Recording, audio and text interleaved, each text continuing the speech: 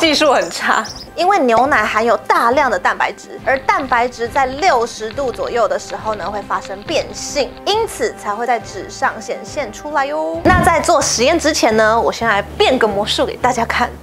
这是一张白纸，等下就知道它的厉害了。我先点个香，那我来烧喽。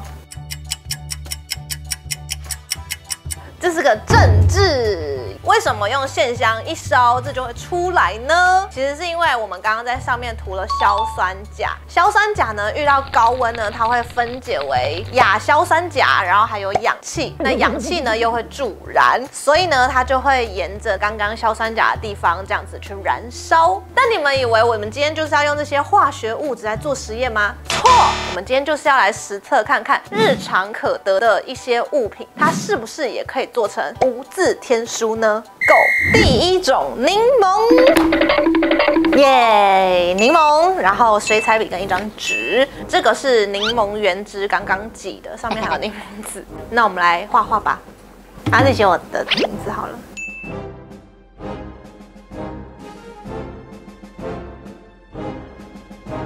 我写完了，然后就是等它干。大家有看出来我写什么吗？你们看不到，因为它是无字天书。只需要通关密语才可以看到它。我们已经等到刚刚写的字全部干掉了，那接下来就要拿出我们的酒精灯、打火机，我们来烧喽！不是把纸烧了，这样子可能是你要跟你祖先讲话才这样。然后把你的纸呢靠近它，但不要烧到，千万不要烧到它。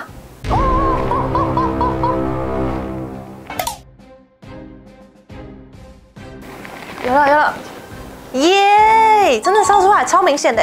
柠檬中含有有机物，而当有机物遇热脱水后，会产生碳化反应。同时，纸张的纤维素也是属于有机物，同样也会发生碳化。但由于柠檬的碳化温度要低于纸张，因此遇到热时，有柠檬的部分会先碳化，自然就会出现字迹喽。接下来第二种牛奶，牛奶，那我一样要写字喽。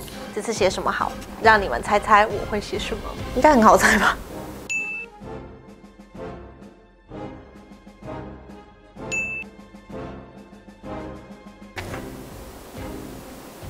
哦哦哦哦哦！技术很差。